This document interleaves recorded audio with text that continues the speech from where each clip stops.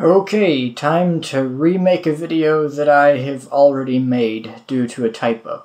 In the case of this video, it actually wasn't a very bad typo, and for the severity that it was, being so minor, I would normally just note it in the description, but for some reason, the typo in this particular video irritates me more than usual. I don't really know why, it just does, so I'm going to fix it anyway. Let's do this. In this video, we're going to solve the Dirac equation for relativistic Landau levels again, but in a different way.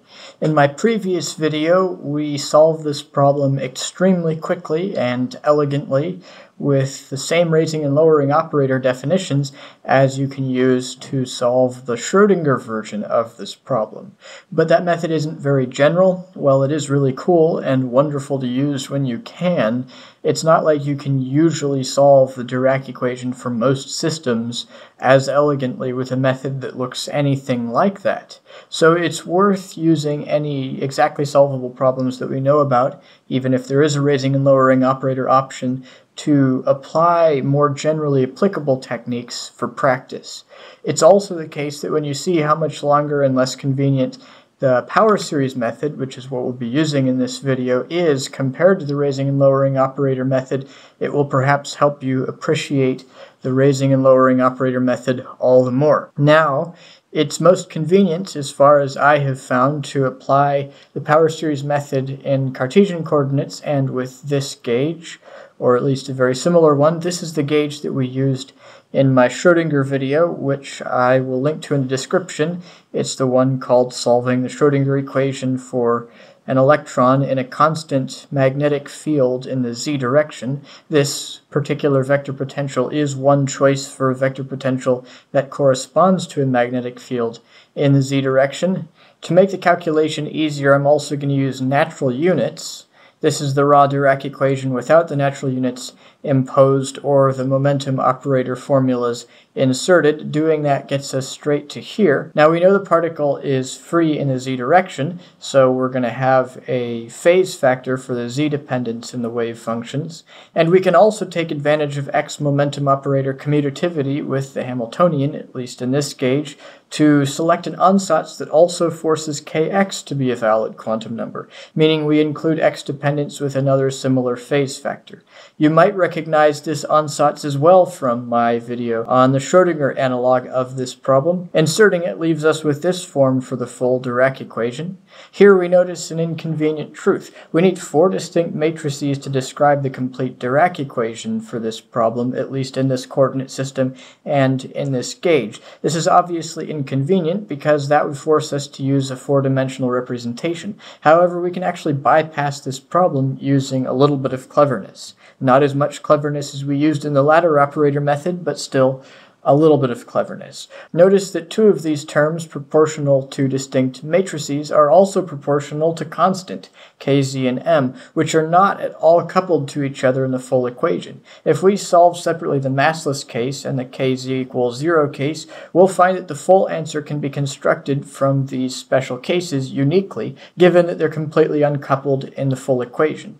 Let's handle the massless case first. This is the equation we need to solve. We now have only three distinct matrices by design, and therefore we can select a 2D representation. The Pauli matrices are a particularly convenient choice for that. Multiplying all that out ultimately leaves us with this pair of equations. It turns out that the same coordinate transformations that we used in the Schrodinger equation video, the portion on eigenfunctions, also simplifies things down quite conveniently here. First of all, we can shorten these first terms, and then we can simplify it further by rescaling the variables as long as we also introduce these constants. The equations we get are satisfyingly simple. At this point, one might guess that the next step is to start taking limits on these equations to discover asymptotic forms capable of turning them into ones that give useful recurrence relations. This guess is essentially correct, but doing so isn't necessarily trivial and can require some experimentation, at least in general, and that was the case here. The first thing I tried was to use substitution to get second order equations, but their large rho limit equations didn't yield very useful asymptotic forms. I then tried taking the same limit on the first order equations, and I got two answers, which isn't terribly surprising. One, which is an exponentiated positive square that's non-normalizable, and the other one is this nice normalizable Gaussian. I therefore only had one choice, and that was to try and use this as the asymptotic form for the large rho limit of both components. Further experimentation confirmed that using this Gaussian as the large rho asymptotic form for both components yielded functional recurrence relations, at least once we substituted to get second order equations, even without considering the small rho limit. Sometimes you don't need an asymptotic form for the small rho limit. You kind of have to experiment to see exactly what asymptotic forms work and what ones you even need. That's all part of the game of solving differential equations via the power series method in the general case. Regardless, that leaves us with this ansatz and this pair of first order equations and ultimately, via substitution, this pair of second order equations.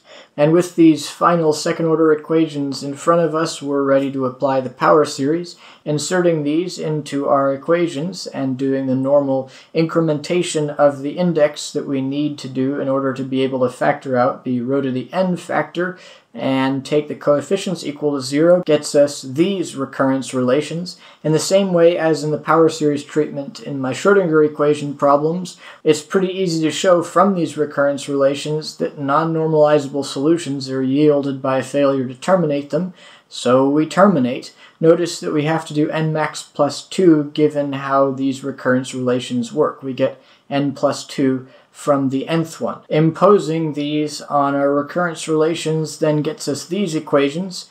If we solve them out, we arrive at these energy eigenvalues and we see that they do match the results from my last video. We can therefore combine these solutions as we did there by inventing the same new quantum number we arrive here. Next we can do the other half of the problem where we restore the mass but set kz equal to 0. That gives us this equation. We see that this equation is exactly the same, at least if we pick this perfectly valid representation for the needed matrices, as the equation that we solved to get these, except where the m parameter is replacing the kz parameter, which means we simply immediately see that we have this solution. Now, as stated above, the mass and kz being uncoupled in the general equation means that there's only one consistent way to combine these special cases to get the energy eigenvalues of the general equation. And here we have that result. It is exactly the same as the general result that we got in my ladder operator video. So there you go. You can also do it with the power series method, and it is great practice working with the Dirac equation using a more generally applicable technique than the ladder operator method is, however elegant it may be. I hope this video is interesting. Thanks for watching.